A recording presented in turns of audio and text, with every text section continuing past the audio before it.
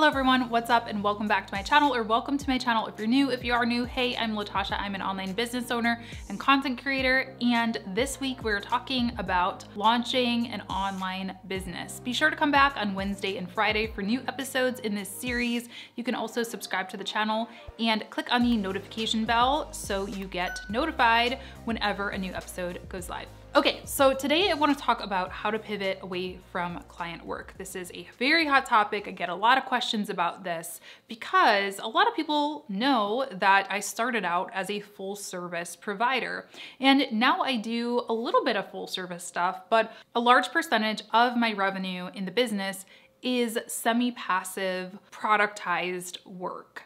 What I mean by that is online courses that are both live and that are evergreen. We're gonna talk about that and how I got to that point right now. So let me first say that the first step in moving towards a productized or passive income model is by productizing your existing service-based work. So what I mean by this is, you know, back when I first started freelancing, I was just applying for anything that looked semi-interesting. I would learn new industries, I would learn new skills. I would kind of just do whatever to get the gig.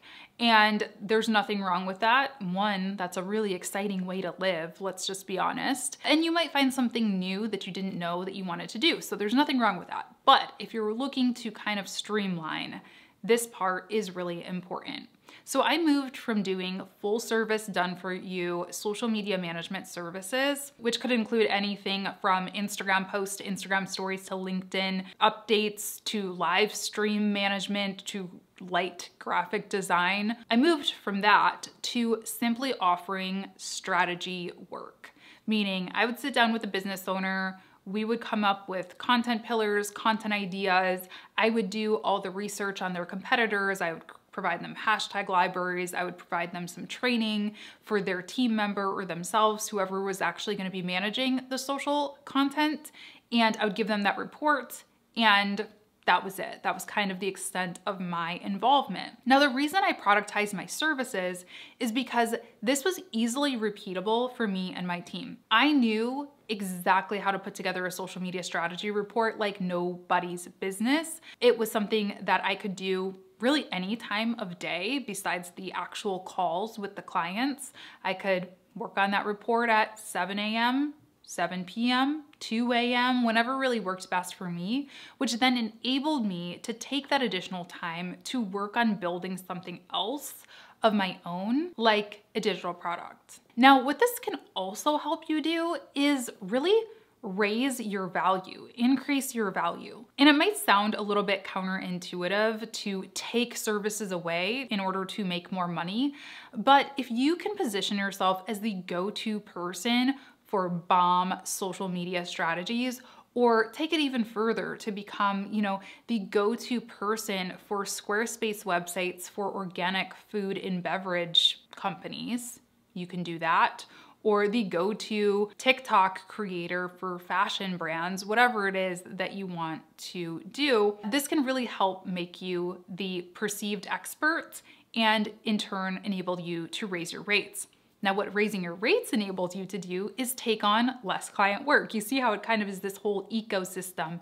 It all sort of works together. Now the other thing about offering a productized version of your existing service is that a lot of times you'll see that it takes less time to actually complete. You might be thinking if it takes less time, then it's going to be less less pay, but that doesn't have to be the case. If I'm delivering a strategy to somebody, I'm really giving them the keys. I'm teaching them. It's like that saying, if you give a man a fish, you feed him for a day. If you teach a man to fish, you feed him for a lifetime. So this is really how I priced my strategy work. It was value-based, not time-based, whereas some of my other packages were a little bit more time-based and really required me to be there sort of on the ground at all times, meaning that they didn't really have a huge ROI or return for the business, my business, that is. So, productize your existing work, establish yourself as a subject matter expert, raise those rates, and then take that additional time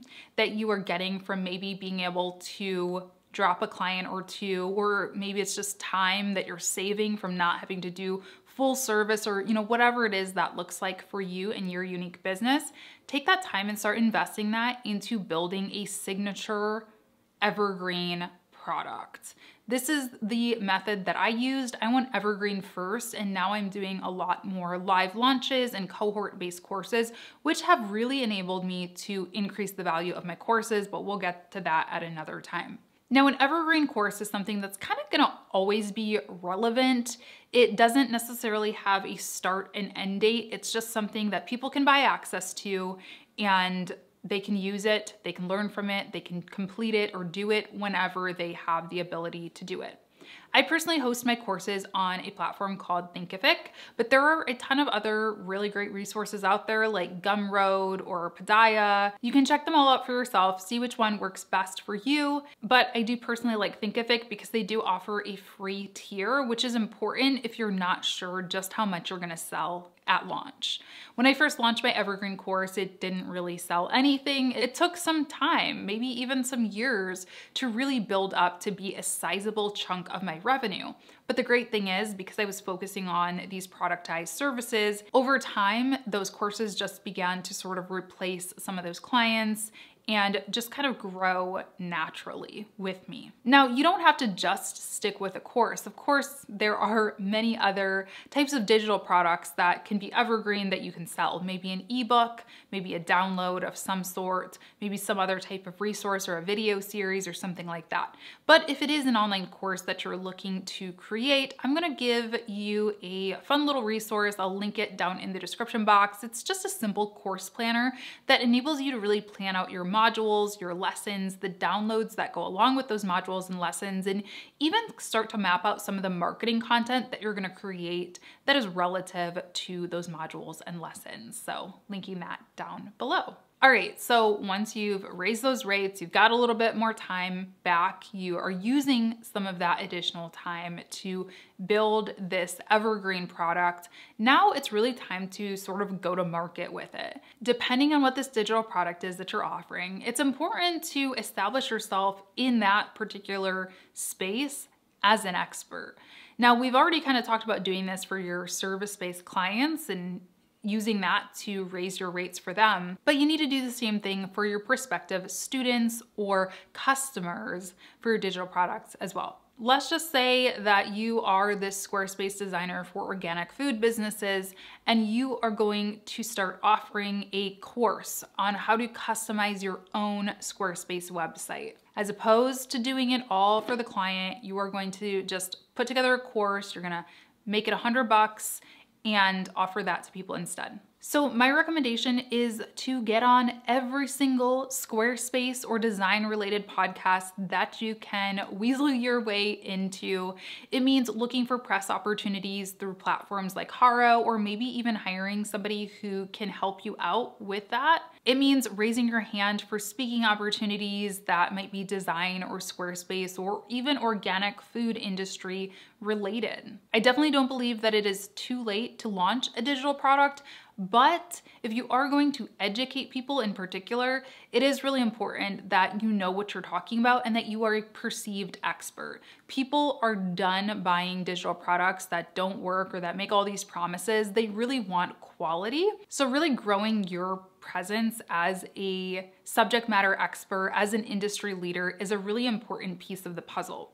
The other reason I recommend doing this kind of at this stage, while you might still be taking on some of those full service or, you know, package clients, if you will, is because a lot of these subject matter expert building activities don't really pay, right? It takes time to fill out a Haro response. It takes time to put together a presentation for a speaking gig, even if you are getting paid a little bit of money for it, they usually don't even out to the same amount that you would be able to charge a client or something like that. So it's important that you have some of that retainer work or some some of those package projects available to work on so you are not kind of diving in, doing all of this work to build your brand, but not yet seeing the return on it. Another way to really establish yourself as an industry expert is by developing a strong content marketing strategy. Content marketing, particularly YouTube content marketing, is really a pillar for me and is how I've been able to build a big part of my digital products business. It's by sharing videos like this, by helping people build their own businesses, by helping people learn about social media. So I would encourage you to do something similar, whether that is on a YouTube video, on podcasts, on a blog, or somewhere else. Now, once you have this digital product out into the world, this is a great time to start just getting really loud about it. Again, using content marketing, using some of those maybe PR strategies, speaking engagements, press, things like that. But you also might wanna consider scaling back some of that done for you client work even further and pushing people towards the digital product. It sounds really simple, but what's on your website is what people are gonna go for. If you only have contact us, packages start at $2,000 on your website and you have no mention of your online course, people are probably gonna either contact you or click out of your website. But if instead of having that homepage signal that you wanna work with people one-on-one, -on -one, and you have it go over to your digital product website or your course website, that's where people are probably going to click and where they're gonna start training themselves to look for you. Wherever you show up, instead of saying, hey, I'm a social media manager, or I'm a graphic designer, or I'm a Squarespace designer, or I'm a photographer, instead, you can start saying, I teach people about taking good photos with their iPhone, or I teach people how to build their businesses on Squarespace or customize their own Squarespace website. So what you tell people is what they're gonna start taking in and you'll be able to start cultivating an audience that knows you as that versus as this done for you consultant type of person. Okay, so be sure to come back on Wednesday. We're gonna be talking about sales funnels and how to take people from that awareness phase to the sales process, whether you are a digital products person or a service-based business owner.